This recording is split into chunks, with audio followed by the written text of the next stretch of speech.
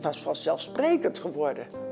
Hè, dat je onderduikers kwamen en dat ze bleven eten. Mijn vader bracht ze na afloop weg.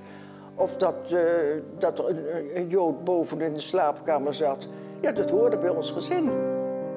In Winterswijk was prinses Wilhelmina aanwezig bij een plechtigheid ter nagedachtenis van mevrouw Kuipers-Rietberg, alias Tante Riek.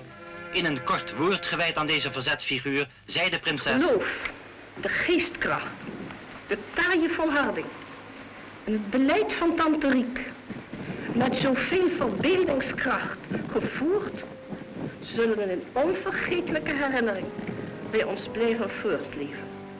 In dit huis in Winterswijk bestiert Helene Kuipers die eerste oorlogsjaren samen met haar man Piet een gezin met vijf kinderen. Maar al snel wordt het ook het hoofdkwartier van een landelijk onderduikersnetwerk. Een bolwerk van verzet waarmee ook de kinderen zo nu en dan worden geconfronteerd.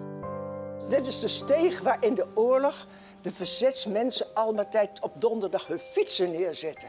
En er stond die hele steeg stond vol met fietsen. Voor bij de vensterbanken stonden fietsen.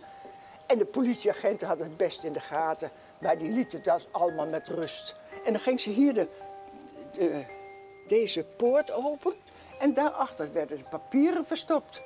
En dan ging de deur weer dicht. Ik herinner me dat nog heel goed. Toen ging het luchtalarm, dat luchtalarm. En maar wij gingen dan met het hele gezin hier in het gangetje staan. Mijn moeder hier en ik altijd aan de hand van mijn moeder natuurlijk en de jongens daar. En dan gingen we zingen. De Heer is mijn herder of scheepke onder Jezus hoede. Maar altijd om de angst te bezweren. Broer was dominee, haar zwager was dominee. Nou, ze kon, met die, kon ze het beste woordje doen. En, uh, dus die heilige schrift, bij wijze van spreken, kende ze uit haar hoofd. God bestond. Ik was een meisje van een jaar of acht, negen, denk ik. Ik hoorde allemaal lawaai. Ik denk, wat hoor ik nou voor stemmen? Maar ik ging naar beneden, de trap op en ik ga zo, doe de deur zo open.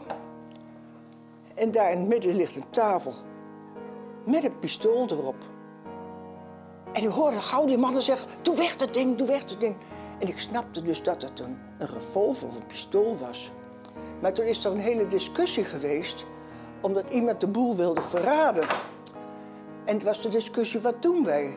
Schieten wij een verrader dood? Of mag dat van je geloof niet? Na de oorlog was ik helemaal niet blij, want ik miste mijn moeder. Maar je groeit en je denkt, het was geweldig wat ze gedaan heeft. En ik ben heel trots dat ik dat, ik dat kan zien en dat ik dat heel erg waardeer. En daardoor hou je des te meer van haar.